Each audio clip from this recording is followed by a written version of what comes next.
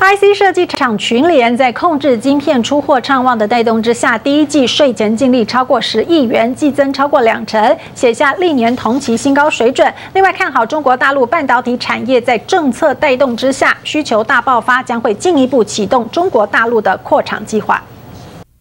去年全球 SSD 出货量高达七千万个，SSD 需求大爆发。NAND Flash 控制晶片厂群联为了抢搭中国半导体产业的顺风车，将投资一千八百万美元在安徽设立合肥兆新电子。因为去年的努力，那耕耘做了很多里山印的动作，今年可以延续去年的这个努力，可以得到所谓的成果，所以。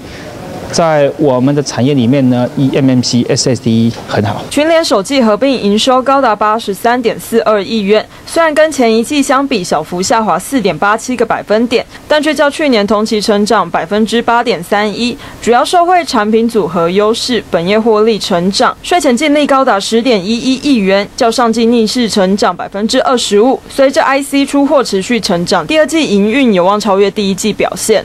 整体来讲，我们的需求都不错。第二季的订单量，其实我们一些砍错的订单，主流砍错订单看到九月底了。NAND Flash 将把 SSD 产业推向另一个极致，加上大数据资料的普及，市场需求更加可观。汇融以五千七百五十万美元收购中国企业级储存解决方案供应商保存科技，预估将为今年 SSD 出货带动三成以上的成长率。陈和平、陈伟佑台北报道。